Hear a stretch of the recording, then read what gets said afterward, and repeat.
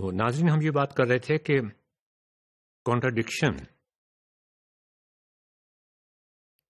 is a step forward is the first step forward towards learning conflict cognitive disequilibrium the first step towards learning learning start from a contradiction from a conflict from a friction in your mind कि वो accept करने को तैयार नहीं है, कुछ solutions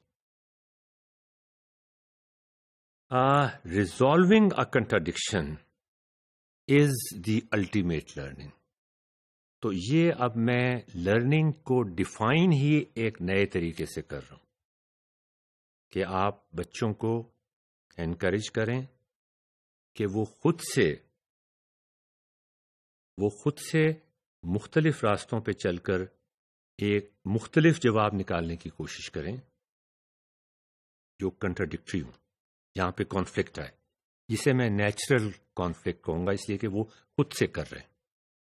अगर वो किसी वजह से खुद से नहीं कर रहे, एक बच्चा है, उसने तो फटाफट रट्टा लगा के जवाब लिख दिया है तो उसको फोर्स करें, उसको प्रोवोक करें कि किसी तरीके से वो किसी दूसरे रास्ते से भी अप्रोच करने की कोशिश करे।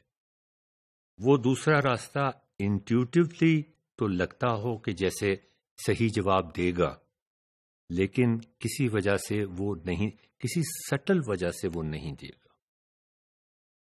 और जब वो दो तीन रास्तों से मुख्तलिफ़ रिज़ल्ट उसके सामने आ जाएँ, तो फिर वो ये सोचने की कोशिश करे कि ये जवाब सही क्यों है? और ये बाकी जवाब गलत क्यों हैं? ये कब सही है? ये कब गलत हैं? ये कहाँ सही है? ये कहाँ गलत हैं? तो ये, इसको मैं, ये ये मेरी डेफिनेशन है लर्निंग की मीनिंगफुल लर्निंग की।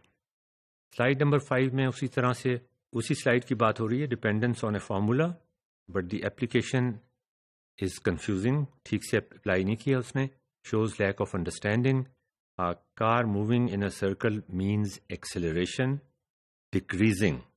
This does not make sense to me. Car will be slipping वो तो जैसे बाकी लोगों ने कहा और ये मैंने इस बंदे को बुला के पूछा ख़ास तौर पे, और इंटरव्यू भी किया मैंने इसको और इससे कहा कि car moving in a circle means acceleration decreasing इसने कहा, मैं असल में वेलोसिटी लिखना चाह रहा था लेकिन वैसे एक्सेलेशन भी डिक्रीज होगा। एक्सेलेशन तो पहले था ही नहीं तो डिक्रीज कैसे होगा? तो नहीं वेलोसिटी की बात कर रहा था वो।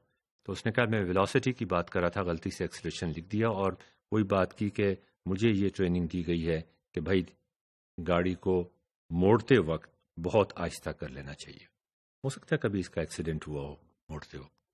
तो ये चीज़ इतनी ज़्यादा उसके दिमाग में बैठ गई है कि मेरे कहने के बावजूद उसने ये रजिस्टर नहीं किया। उसकी वर्किंग मेमोरी में ये चीज़ सिलेक्ट ही नहीं हुई। ये चीज़ एक्सेप्ट ही नहीं हुई कि टर्न काटते हुए, गोल चक्कर में टर्न काटते हुए गाड़ी की स्पीड 40 किलोमीटर पर आवर हो सकती है। दिस इज़ वेरी स्ट्रेंज ये एक और स्लाइड आपके सामने। He thought that if velocity is constant then acceleration would also be a constant. ये एक ऐसी गलती है जो बच्चे आमतौर पे करते हैं कि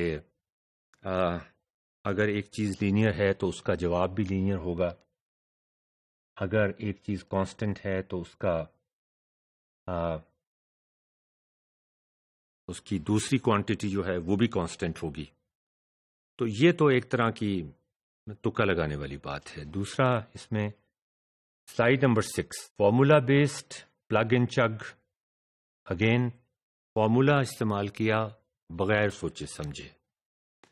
और वहाँ से जो जवाब निकलने की कोशिश की, वो बहुत ही ऑब्ज़र्व किस्म का निकला। इसलिए कि कांस्टेंट स्पीड को आप डिफ्रेंशिएट कैसे करेंगे?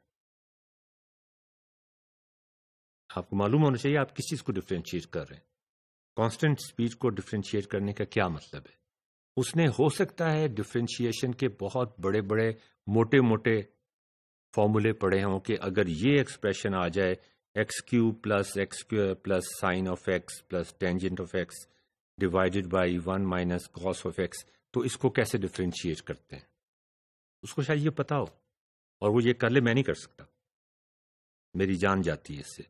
लेकिन उसको ये शायद पता ना हो कि एक कांस्टेंट को डिफ्रेंशिएट करने का क्या मतलब होता और ये एक बहुत कॉमन मिस्टेक कि आप फॉर्मूला पे बहुत ज़्यादा डिपेंड करना शुरू कर देते हैं। सेकंड पार्ट में भी फॉर्मूला उसको हिंडर कर रहा है फ्रिक्शनलेस सरफेस के अंदर। कह रहा है कि there will be acceleration F is equal to M A अच्छा एक तरफ़ वो ये कह रहा है कि अपोजिंग फोर्स नहीं है तो फ्यूल कंज्यूम नहीं होगा। दूसरी तरफ़ वो न्यूटन का लॉ लगा रहा है F is equal to M A और कह रहा है कि एक्सेलरेशन अगर है तो फिर वो इस तरह से निकाला जा सकता है कि हमें फोर्स पता हो। Again you see depending upon formulas you become a slave of formulas don't use the formula as if the formula is governing your mind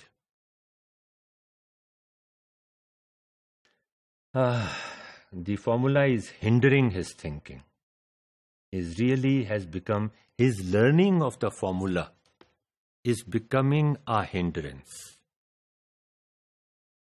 अब ये ये नाजरीन अफसोस की बात है जैसे आइंस्टाइन ने भी कहा था कि जो सबसे बड़ी हिंड्रेंस होती थी मेरी किसी दरियाफ्त में, वो मेरी एजुकेशन थी कि हमारी जो एजुकेशन जो हम दे रहे हैं बच्चों को और जिस तरीके से हम वो दे रहे हैं वो सोचने और समझने में रुकावटें पैदा कर रही है।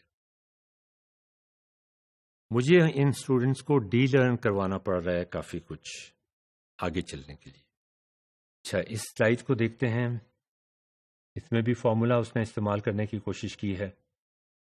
और फोर्टी किलोमीटर पता नहीं ये डिस्टेंस का कौन सा फार्मूला इसने S is equal to one over T one over two into A T square distance तो हमें पता ही नहीं है कि कितना है। एक्सीलेशन हम कैसे निकाल लेंगे? तो वो इसने 40 किलोमीटर रख दिया है, टाइम वन रख दिया कि हाँ भाई स्पीड कांस्टेंट है तो यहाँ से एक्सेलरेशन निकल आएगा। आप देखें, ये एक बड़ी बुनियादी गलती है।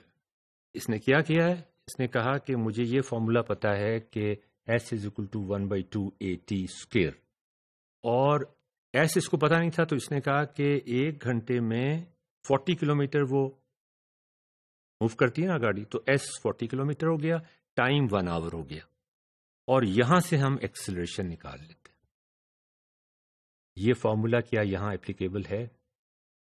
Wrong use of formula Now he does not know at all when this formula can be used or cannot be used. ये आप ज़रा खुद सोचिएगा कि इसका क्या मतलब है। ये फॉर्मूला कहाँ से आया था?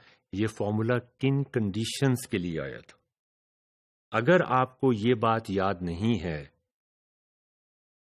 तो फिर फॉर्मूला इस्तेमाल करना आ, एक छुपकली मारने के लिए आप एक एयर गन इस्तेमाल करते हैं। दुश्मन के टैंक के ऊपर आप एक रॉकेट लॉन्चर इस्तेमाल करते हैं। ये बिल्कुल ऐसी बात है कि छुपकली मारने के लिए आप एक रॉकेट लॉन्चर इस्तेमाल करने की कोशिश कर रहे हैं। इसने एक बहुत मज़े की बात की है और वो ये है लास्ट सवाल के हवाले से कि A square plus B square is equal to C square ये तो पाइथागोरस थ्योरम है। ये बात हम बाकी बच्चों में डिस्कस नहीं करते आए। मैं चाह रहा था एक दफ़ा इसको डिस्कस कर लें। ये तो पाइथागोरस थ्योरम की डेफिनेशन है for a right angle triangle जिसमें इसने ड्रॉ कर दिए right angle triangle and that is very good जिसमें ए जो है वो उसकी बेस है बी उसकी हाइट है और सी उसका हाइपोटनीस तो A square plus B square is equal to C square ठीक? बिल्कुल ठीक है।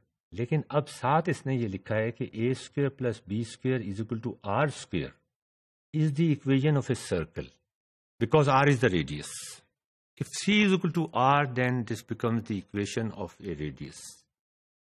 अच्छा बाकी जितनी इक्वेशन थी, वो सारी की सारी ट्रांसफॉर्म होकर एक ही इक्वेशन बन जाती थी।